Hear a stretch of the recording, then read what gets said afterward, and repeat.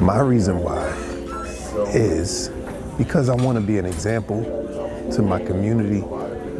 I don't want to follow what everyone else is doing, especially if it's not the right thing. I look for the right thing, and that's my reason why.